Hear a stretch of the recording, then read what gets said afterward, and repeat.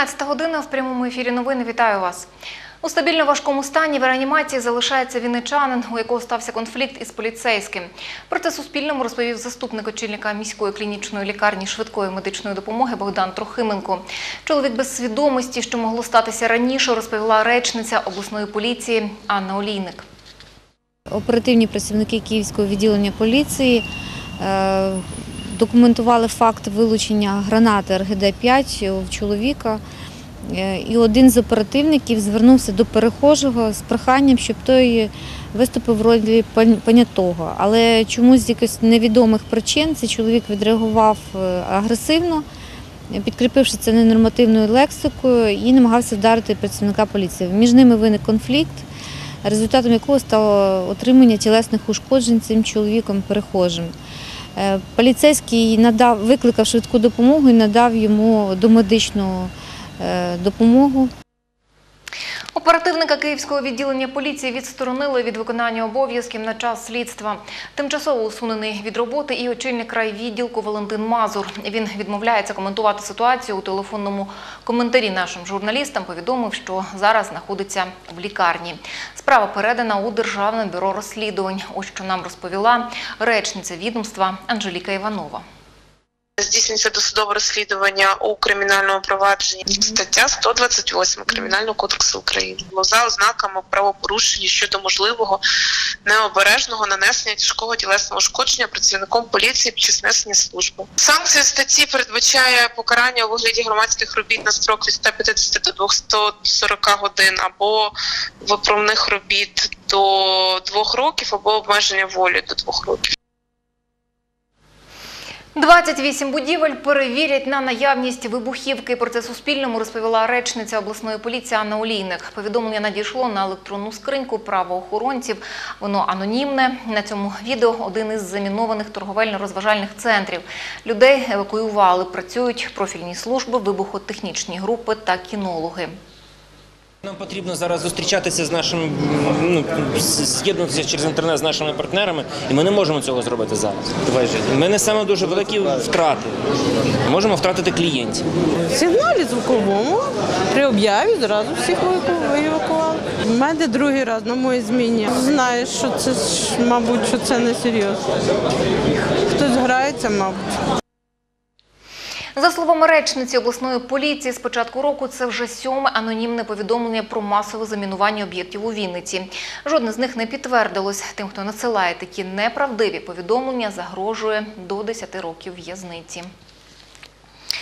Понад 200 тисяч гривень виділять із бюджету Жмеринської райдержадміністрації на ліквідацію наслідків негоди від 5 червня. Суми погоджені, у липні їх мають затвердити на районній сесії, розповів кореспондентам ЮА Вінниця, очільник району Олег Легеза. Ще 11 мільйонів візьмуть із державного бюджету. За них планують відремонтувати трасу Т-0218. Хто з селян отримав грошову компенсацію, а кому сказали вирішувати все власними силами, дізнавалась Олена Карбівська. Дивіться, які стовби повивалював. Такого мені попало, отако було води. Все воно все донизу, бачите? Це все так і воно пішло. Яблуні, все, город в нас. Клубніки нема, цибуля, все, все повністю. Віктор Посвалюк показує наслідки негоди, яка сталася у селі Мартинівка Жмеринського району 5 червня. На його подвір'ї купи каміння та сміття. Чоловік каже, якби була відремонтована дорога та прочищені стоки, такого б не трапилося. Все, що можна зробити, ніхто нічого не робить. От, пожалуйста, це голова сільсовета зробив дорогу нам. Вся дорога в городі. У сільраді не вистачає коштів на ремонт дороги, розповідає сільський голова Олександр Цвень. На сьогоднішній день немає ні комунальних підприємств, ні техніки в сільській раді немає. Це все треба десь з когось брати. Тих 20 тисяч на дороги. У нас сільська рада вона найбідніша. 132 тисячі гривень на ремонт цієї дороги та ще двох інших виділять із районного бюджету, каже голова Жмеринської райдержадміністрації Олег Легеза. Сьогодні вже 22 тонни щебня завезено, техніка працює. Також, за словами Легези, понад 100 тисяч гривень із районного бюджету виділять на купівлю будинку для сім'ї Коломийчуків. Їхнє житло, за словами Легези, постраждало найбільше. Жити в ньому тепер неможливо. Тут на момент потопу господиня Яна була разом з батьком-інвалідом та трирічною донькою. Прийшов дощ, і хвилин через п'ять вся вода линула з горбів, з городів, все сюди. Нас витягували через вікно. Батька забрали, визвали швидку допомогу, забрали в лікарню. Він зараз знаходиться в лікарні районній. а ви з дитиною? Ми з дитиною зараз знаходимося в моїй подруги, в моїх друзів. У сусідньому селі Кармелюкове стихія тоді пошкодила шість гребель, каже сільський голова Микола Огородник. Під'їзду туди досі немає, додає він. Отаким е, уровнем вода потекла, е, хлинула з полів через греблю, то це майже по всіх ставках е, е, отакі урвища є. Перша волна півполя зацепила. От. От. Е, Даже видно, де лелеки е, собі і цаплі бігаються, вони собі ще карасів ловлять. Ремонтувати греблі орендарі водойм мають за власні гроші, пояснює Микола Огородник. З Сільської ради ми не виділимо е, нічого. Із таким рішенням не погоджується орендар Іван Кучер. Каже, і так поніс збитки. Коли змило греблю, рибу також понесло вниз по руслу.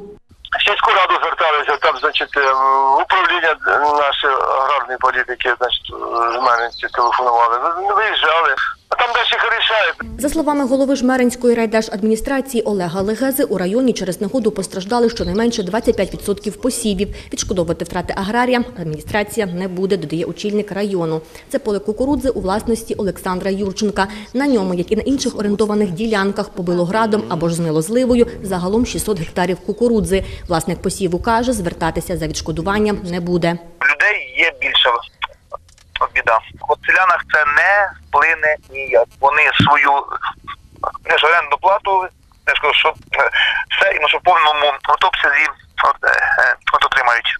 Дорогу державного значення Т-0218 Лука-Барська, Біликівці, Жмеренка, Ямпіль, де водою розмило 980 метрів траси, ремонтуватиме обласне управління Укравтодору. Приблизно вони порахували на це піде десь 11 мільйонів гривень, і відповідно ці гроші підуть з державного бюджету. Олена Карбівська, Володимир Черніков, новини ЮА Вінниця. У підвалах вода, на стінах, у під'їздах пліснява та грибок. У таких умовах живуть мешканці будинку по вулиці Зулінського. Кажуть, за 30 років ремонт у багатоповерхівці не робили жодного разу. У листопаді минулого року люди уклали договір із компанією Київська. Згідно документу, саме це підприємство мало усунути усі проблеми. Втім, за словами мешканців, працівники ЖЕКу лише змітають грибок віником, а сморід, який йде з підвалу, засипають хлоркою. В ситуації розбиралась Наталя Колодій. Наталя Кривунець мешкає у багатоповерхівці по вулиці Зулінського. Вона старша по будинку. Каже, гриби у її під'їзді ростуть двічі на місяць. Місце, де в нас ростуть гриби. Ось, бачите? Ось тут. На тому тижні вони були ось такі. Можна прямо в баночку заселити і забрати. З нас всі сміються, що як це гриби, такого не може бути. Є. Сьогодні їх тут вже почистили.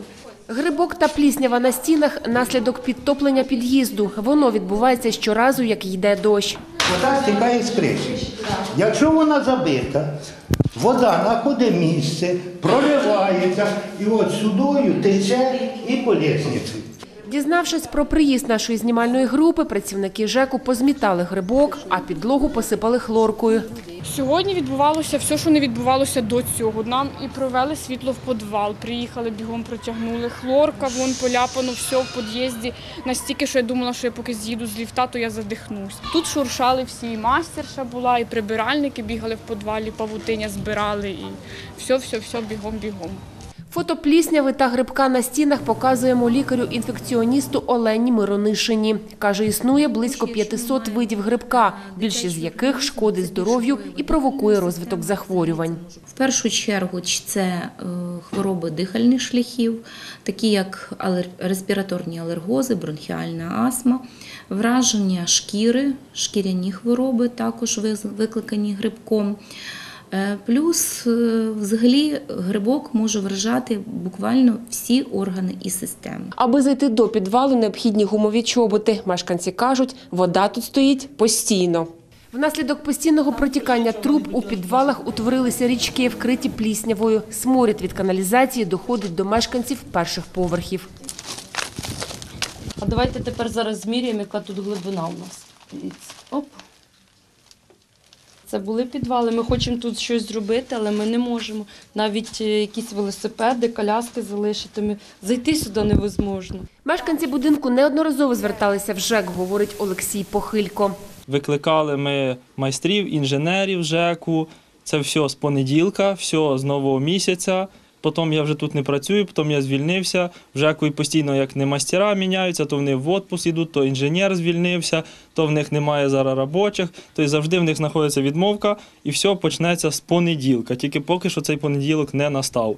І будинок просто стоїть по суті на трясовині. Тобто, фактично, весь підвал залитий водою, і причому воно вже все цвіте, гниє і. Ну, недовго вже залишилось до того, щоб пішли тріщини в будівлі, оскільки ну, основи фактично немає. У листопаді минулого року мешканці цієї дев'ятиповерхівки уклали договір із управляючою компанією Київська з ЖЕКом. За документом саме це підприємство має усувати всі проблеми у будинку. В цьому тарифі прописано, що ми платимо 5 гривень 21 копійку за квадратний метр. Ви уявляєте, скільки це з наших квартир виходить коштів? І кожного місяця з нас знімають 17 тисяч за утримання будинку до 20. Почали нам розказувати, що все буде тепер по-новому, незважаючи на те, що залишається той ж самий ЖЕК, що тепер якість послуг буде зовсім інша надаватися. Е, Ну і люди по старінки звикли е, працювати з ЖЕКом. Всі погодилися підписати договір з ЖЕКом, підписали договір. Е, Нічого не змінилося.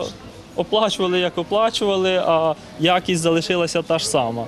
Головний інженер управляючої компанії Київська Олександр Луба говорить, каналізацію будинку по вулиці Зулінського чистять двічі на місяць. Виїхали на місце і виявили каналізаційний люк першого під'їзду, випуск дома повністю забитий, забитий тряпками, капустою, всім чим тільки можна. Каналізація не працювала. Після чого була направлена аварійна бригада для прочистки каналізації. Дали нам заключення, що каналізація знаходиться в задовільному стані, переломів ніяких немає. Просто не дбали користування. Це не ми. Оце я на квартирі сидять, то нові, нові купляють, то це не в старі жильці цього не роблять. Не накидають нічого. Вони сказали, це ще не проблема, що на 10 сантиметрів стіну вимило. Проблема буде, якби взагалі там у вас повен підвал води був. Тобто вони не вбачають в цьому серйозності. Обіцяли нам техповерх очистити від голубів і всіх їх продуктів життєдіяльності. Проте в цьому напрямку абсолютно нічого не було зроблено. Зі слів головного інженера ЖЕКу Олександра Луба, ремонтні роботи в першому під'їзді розпочнуть з наступного тижня. До 1 липня ми маємо виконати ці роботи. Зб'ють штукатурку, оброблять протигрибковими засобами, зроблять ремонт першого поверху.